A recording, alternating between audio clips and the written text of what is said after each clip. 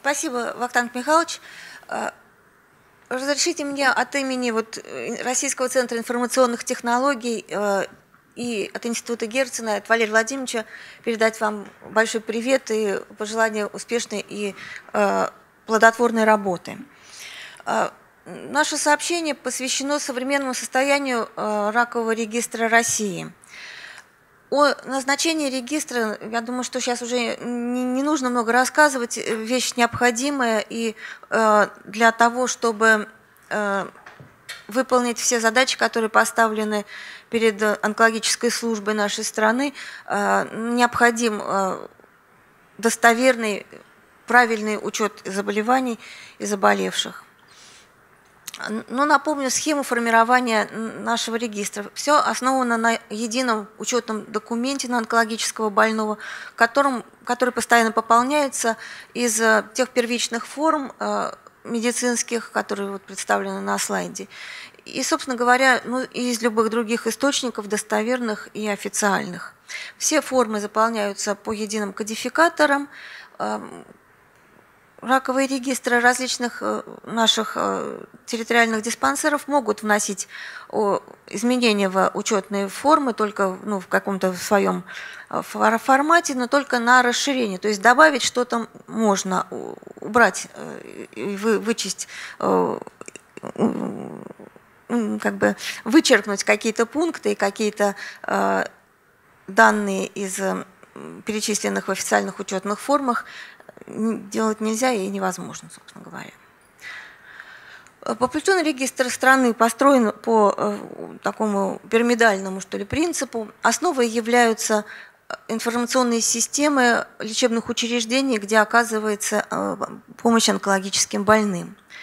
Раковый регистр районов здесь представлен. В, каких, в некоторых территориях нашей страны есть возможность организовывать автоматизированные рабочие места на как бы в первичных кабинетах, в первичных онкологических отделениях, э, где эта возможность э, реализована, там э, можно поставить удаленный доступ к нашей программе, к программе регистра и работать как удаленным доступом из различных территорий, различных лечебных учреждений.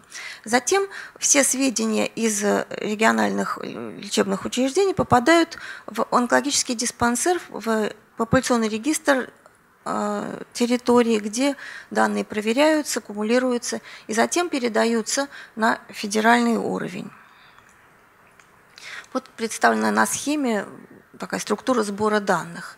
Возможно введение информации на рабочем месте онколога, возможно введение информации в э, оргметоде э, в оргметод кабинете или отделении ракового регистра диспансера. И затем э, данные аккумулируются и передаются на, на более высокий уровень. Э, это схема организации, э, ну, возможных, возможной организации территориального сегмента ракового регистра. Возможно, введение информации только в диспансере, возможно, использование локальных сетей диспансера, возможно, вот, организовывать удаленных пользователей. В общем, есть различные варианты, и на, в, в, в нашей стране реализованы фактически разные схемы организации территориального регистра. Но везде соблюдается то, что сервер база данных э, аккумулируется в онкодиспансере, передается в Минздрав Российской Федерации. Здесь представлены модули э, информационно-аналитической системы «Канцер-регистр», но э, хотелось бы на этом слайде отметить, что модуль регистрации больных существует вплоть до территориального уровня, то есть в диспансере, на уровне Минздрава, на уровне э, федеральном возможности вводить данные о больных нет, и нет возможности их как-то корректировать. То есть э, самый высокий уровень – это только уровень анализа без возможной коррекции данных. Э, достаточно, э, достаточно современные средства разработки программного обеспечения ракового регистра. Я не буду о них говорить, потому что это дело программистов, но мне сказали, что современно и соответствует мировому уровню. Э, программа регистра позволяет э, получать различные данные э, и по заболеваемости, по смертности, и по различным диагностическим каким-то параметрам. Но все это, эти данные должны быть очень хорошо выверены. И проверке качества данных должно уделяться огромное влияние, внимание. А все, что можно было бы встроить в программу, фактически уже встроено. Но существуют и различные варианты, особенно в онкологии, когда невозможно формализовать, и поэтому нужно составлять запросы, возможные различные получения, такие перекрестные проверки проводить на уровне, э, собственно, на любом уровне, на уровне и первичного кабинета, если там вводится информация на уровне э, введения в диспансере, и, э, конечно, на федеральном уровне тоже это возможно, но хотелось бы все-таки на федеральный уровень поднимать уже более э, качественную информацию, которая прошла проверки в, на территориальном уровне все. Также ведется изменение справочников, которые используются в системе ракового регистра. Вы все в курсе, что э, все э, справочники они были утверждены в 1999 году, в прошлом веке, в прошлом тысячелетии, но поменять их пока нет никакой возможности, потому что они должны быть изменены одновременно у всех. То есть должен быть какой-то э, законодательный, какой-то нормативный документ, который сказал, что вот с такого-то числа мы работаем на таких-то справочниках, которые были э, утверждены сообществом онкологов. Ну вот вы знаете, в 99 году вся страна перешла на МКБ-10, с 99 формально мы должны работать на ТНМ пятого издания, и вот в 2015 году на съезде онкологов э, СНГ Э, который был в Казани, э, Ассоциация онкологов приняла решение о том, что мы переходим на ТНМ седьмого издания, вот с 2015 года перешли. И Минздрав разослал изменения в МКБ, которые отслеживают э, соответствующие структуры Минздрава, и вот было официальное письмо о включении изменений кодов МКБ-10. А, извините, еще хотела сказать об МКБО второго пересмотра. Пока еще на данный момент не существует официального перевода МКБО-3, поэтому э, в регистре у нас МКБО второго пересмотра. Э, значит, нормативная база тоже уже давно не менялась. Э, существует несколько приказов, которые регламентируют работу регистров на всех уровнях.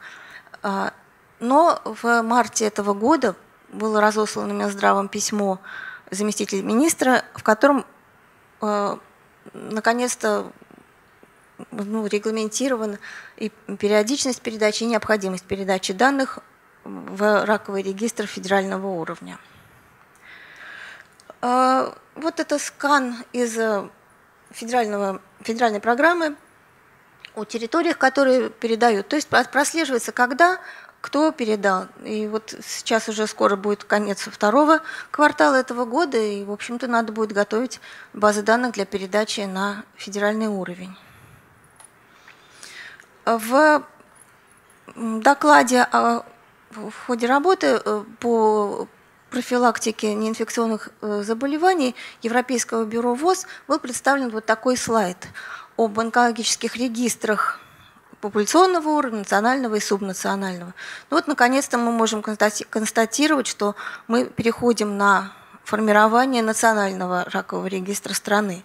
То есть будет э, формирование объединенной базы данных.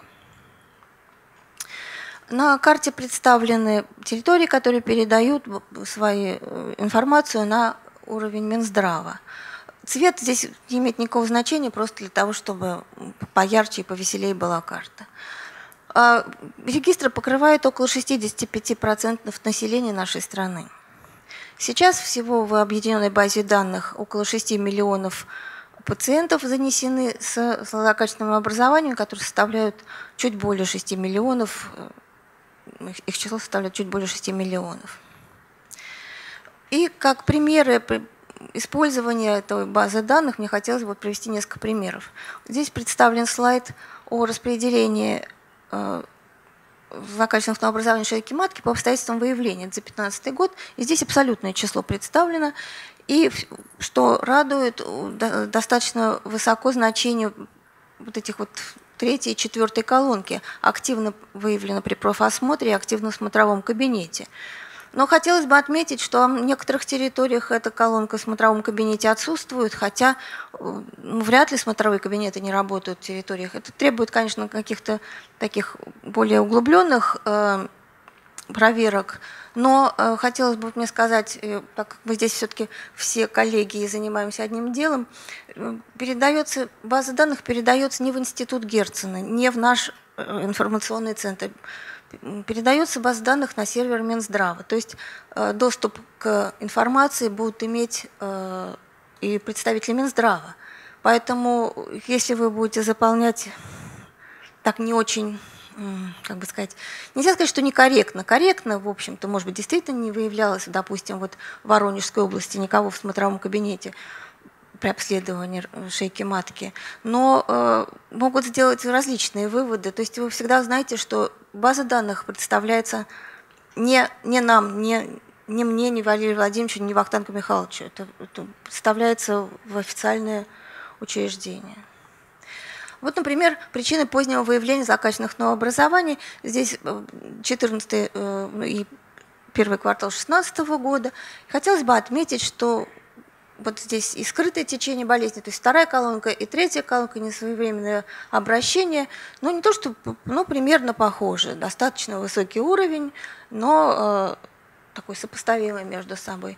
А если посмотреть причины позднего выявления злокачественных новообразований молочной железы у женщин в возрасте от 40 до 60 лет, то вот эта третья колонка несвоевременное обращение э, намного превышает, это проценты, намного превышает уже все остальные причины. То есть э, вот тот резерв диспансеризации, не знаю, скрининга, тот резерв раннего выявления, вот он виден в том, что то есть, э, у женщин достаточно молодого возраста есть какие-то симптомы, но выявляется все это не так, как хотелось бы. Э, на следующем слайде представлено распределение злокачественных новообразований молочной железы по стадиям в различных возрастных группах.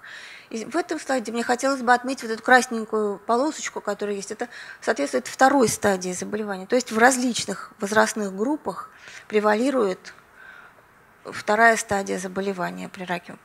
Если посмотреть процент, он колеблется от 46 примерно до 35, но в 35 это 85 и старше.